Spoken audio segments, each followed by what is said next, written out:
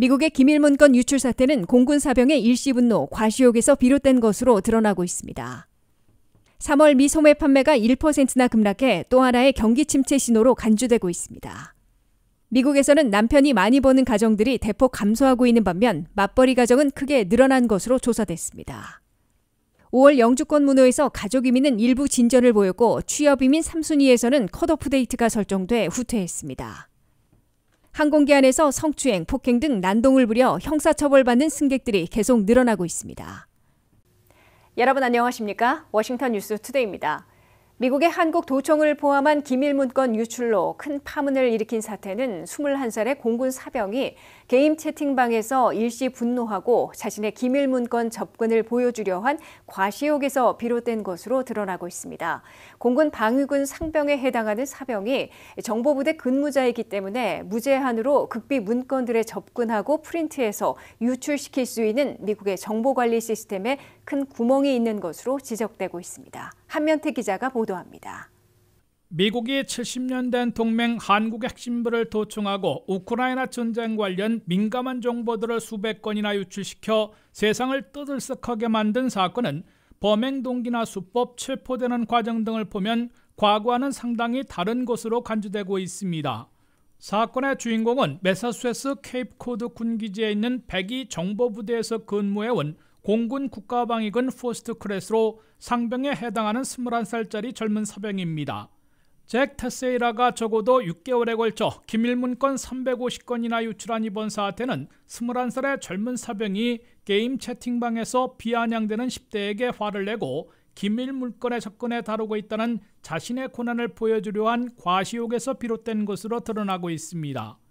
FBI에 체포된 다음 날인 14일 잭 테세이라는 보스턴 연방법정에 처음 소환돼 기밀 문건들을 불법으로 제거하고 소지하며 유포시킨 혐의로 공식 기소됐습니다.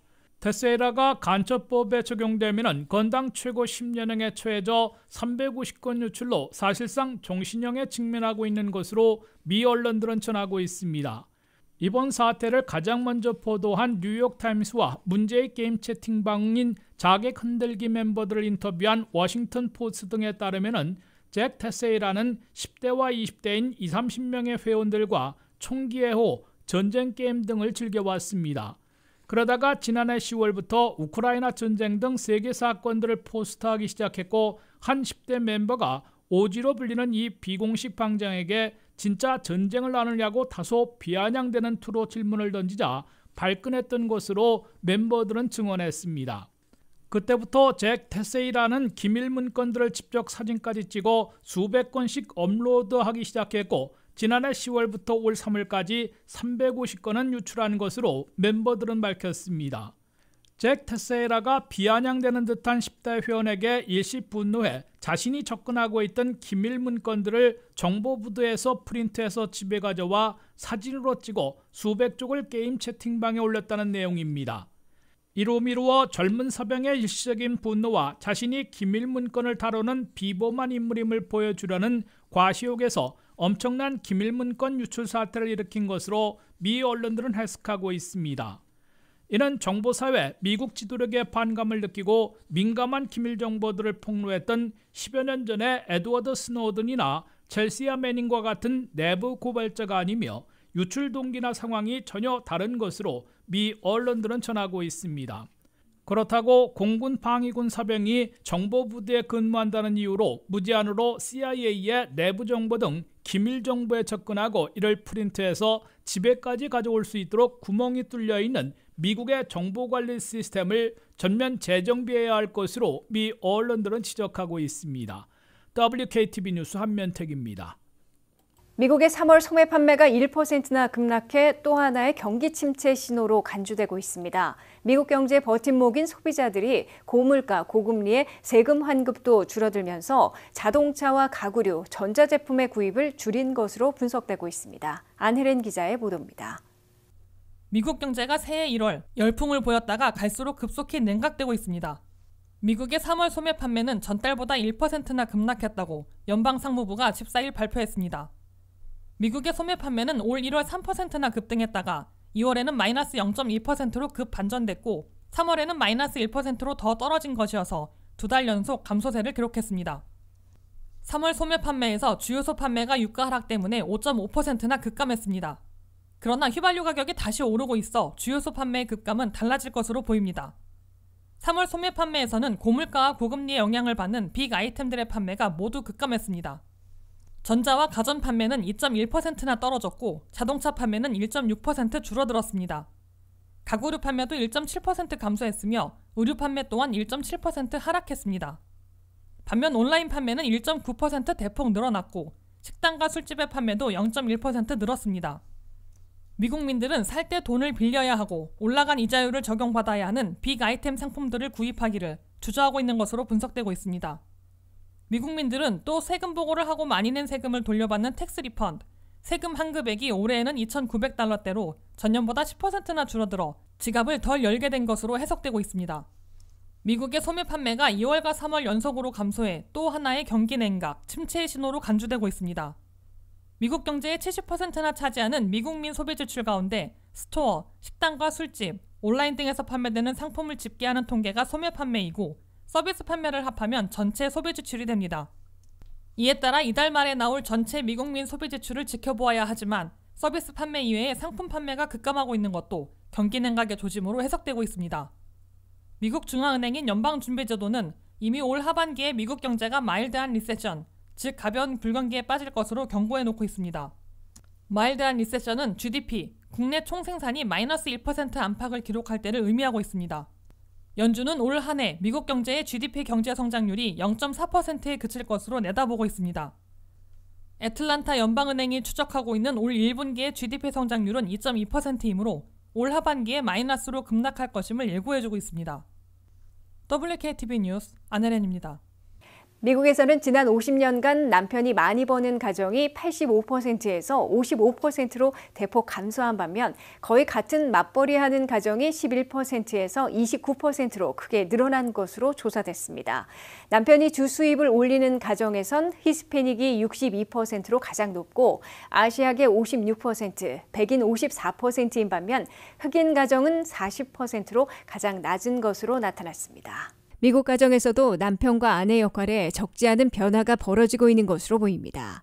퓨 리서치 센터가 올 1월 5천여 명을 대상으로 설문조사한 결과 미국 가정도 50년 동안 상당한 변화를 겪고 있는 것으로 나타났습니다. 아직도 전형적으로 한 가정에선 남편이 아내보다 돈을 더 벌고 있다고 대답하고 있으나 그 비율은 대폭 감소하고 거의 같은 수준으로 맞벌이하고 있다는 가정들이 크게 늘고 있습니다. 남편이 홀로 벌거나 주수입을 올리고 있다고 답한 가정은 전체에서 55%로 집계됐습니다. 남편이 더 벌고 있다는 미국 가정의 비율은 50년 전인 1972년에는 무려 85%였는데 2022년 현재는 55%로 대폭 감소한 것입니다. 거의 같은 수준에서 맞벌이하고 있다는 미국 가정은 전체에서 29%인 것으로 나타났습니다.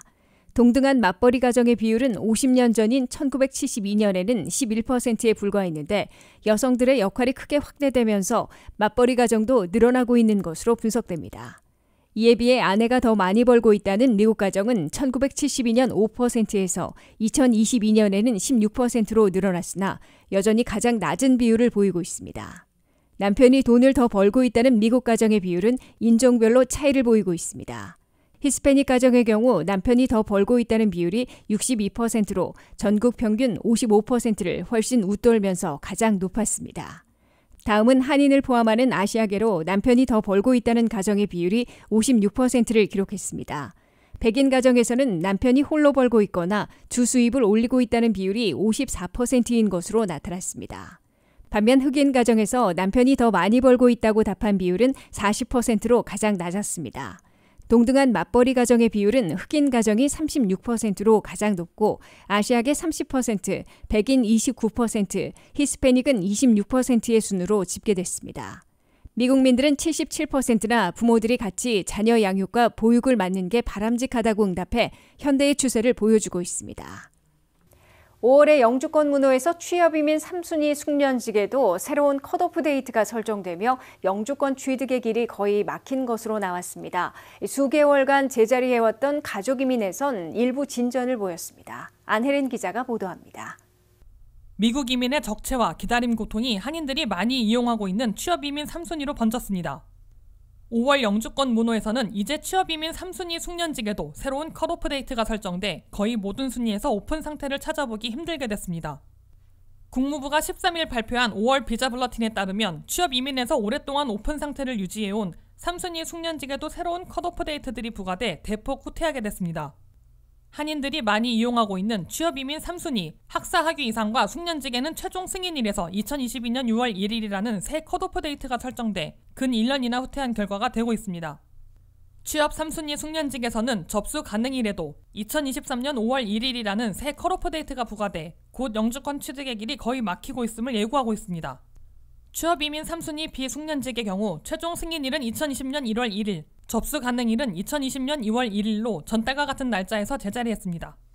또한 석사 이상 고학력자들이 신청하는 취업 이민 2순위의 최종 승인일에 설정된 cutoff date가 2022년 2월 15일로 부과돼 4개월 반이나 더 후퇴했으며 접수 가능일은 2022년 12월 1일에서 멈췄습니다. 전달 3년 반씩이나 대폭 후퇴했던 취업이민 4순위인 특별이민과 비성직자 종교이민에서는 최종 승인일이 2018년 9월 1일로 접수 가능일은 2018년 10월 1일로 전달과 같게 나왔습니다. 이에 따라 취업이민 1순위와 5순위 투자이민만 승인일과 접수일이 계속 오픈돼 있습니다. 5월 영주권 문호에선 가족이민에서 모처럼 일부 움직임을 보였습니다. 미 시민권자의 21세 이상 성년 미혼 자녀들이 대상인 가족이민 1순위는 최종 승인일이 2014년 12월 15일로 보름 진전됐고 접수일은 2017년 1월 1일로 가장 많은 5개월이나 개선됐습니다. 영주권자의 배우자와 미성년 자녀들이 대상인 EA 순위의 최종 승인일은 2020년 9월 8일에서 동결된 반면 접수 가능일은 가족이민에서 유일하게 계속 오픈돼 있습니다. 영주권자의 성년 미혼 자녀인 2순위 B는 승인일이 2015년 9월 22일에서 접수일은 2017년 1월 1일에서 멈췄습니다. 시민권자의 기혼 자녀인 3순위는 승인일이 2008년 12월 8일로 보름 개선됐고 접수일은 2010년 2월 8일로 3개월 나아갔습니다.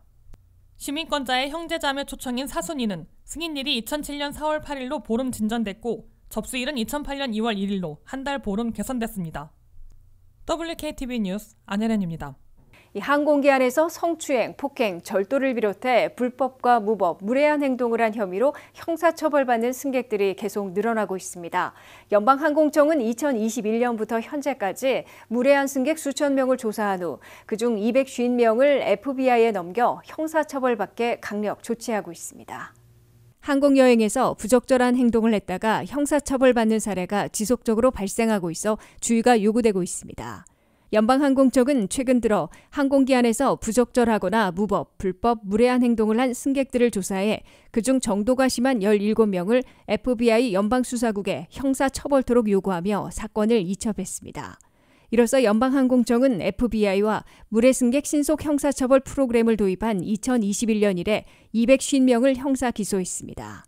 올해 연방항공청이 물의 승객 케이스로 조사해 FBI에 형사처벌토록 넘긴 17명 중에서는 젊은 여성을 부적절하게 터치한 성추행 혐의도 있고 여성 승객이나 승무원을 때린 폭행, 좌석에 앉기를 거부한 위험한 행동 등으로 나타났습니다.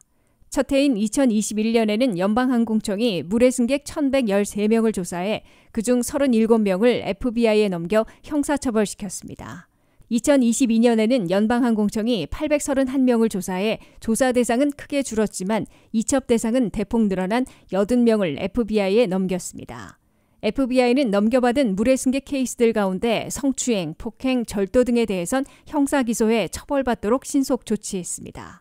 한 승객은 항공기 안에서 젊은 여성을 부적절하게 터치한 성추행 혐의로 처벌받았습니다. 한 여성 승객은 버펄로에서 시카고로 가는 항공기 안에서 다른 승객들과 시비를 벌이다가 두 명을 때린 폭행 혐의로 유죄 판결을 받았습니다.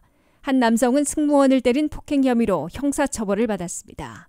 연방항공청과 FBI는 항공기 안에서의 무법, 불법 행동은 물론 승무원 지시에 따르지 않아 다른 승객들을 위태롭게 하는 무례한 행동까지 결코 관용은 없을 것이라고 경고했습니다.